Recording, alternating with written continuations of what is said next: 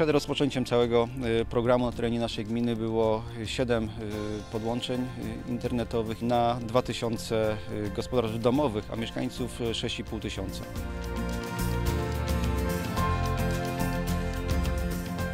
W tej chwili pokrycie gminy dostępem do internetu jest na poziomie 60% i przygotowujemy koncepcję na te obszary, gdzie jeszcze tego pokrycia nie ma.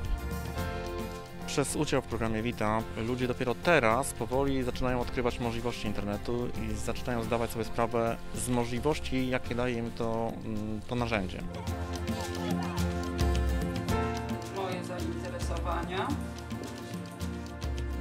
Coś takiego.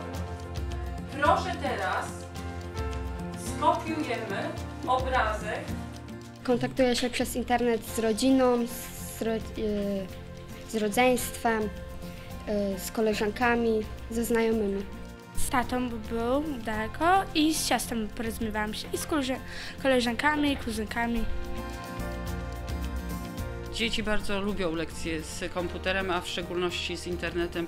Nauczyły się z niego korzystać, wykorzystują go nie tylko do pracy na lekcji, ale głównie w kierunku swoich zainteresowań.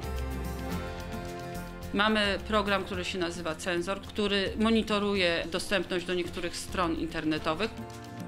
Uczę mamę i tatę w internetu w domu. Potrafią już obsługiwać strony internetowe.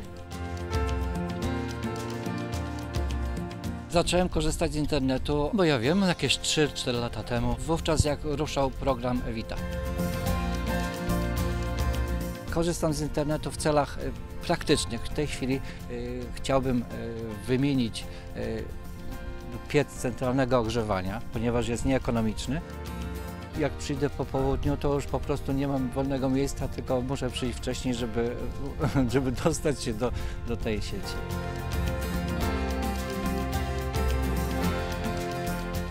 Fundacja Wspomagania Wsi bardzo mocno nam w tym y, pomogła. Wsparcie fachowe konsultantów, y, z którymi tutaj nasi miejscowi liderzy, którzy zajmują się rozbudową sieci internetowej, mogli na bieżąco to konsultować.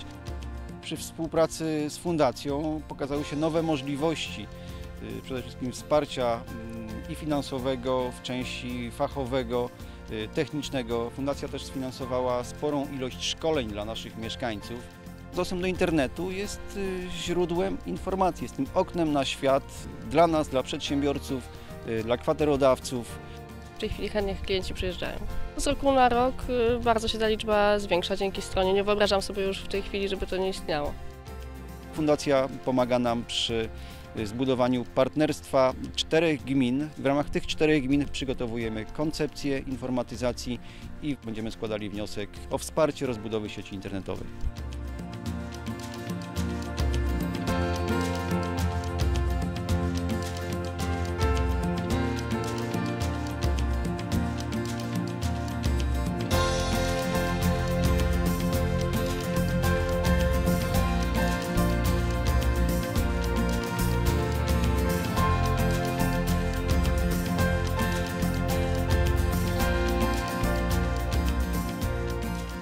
Myślę, że w innych gminach jest sporo osób, które być może nawet sobie nie zdają sprawy, że mają zasób umiejętności i wiedzy, które mogą przełożyć właśnie na zbudowanie takiego przedsięwzięcia, jak my zrobiliśmy.